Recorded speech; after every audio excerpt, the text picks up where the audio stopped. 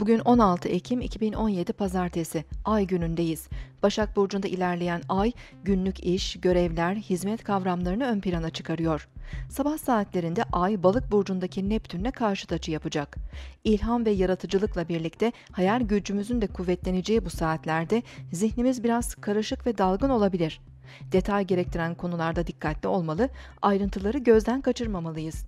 Sindirim sistemimiz de bu saatlerde daha hassas olabilir. Öğleden sonraki saatlerde Ay Oğlak Burcu'ndaki Plüton'la üçgen açı yapacak. Güçlenen toprak elementi güç, güven ve istikrar verirken günlük işlerde de pratik ve somut sonuçlar almamız kolaylaşabilir. Güneş ve Satürn arasında oluşacak uyumlu görünüm, aile büyükleri ve otorite figürlerinden maddi manevi destek almamızı kolaylaştırabilir. Siz de şimdi kanalımıza abone olun, yorumlar bölümüne sorularınızı yazın, sürprizlerimizden haberdar olun.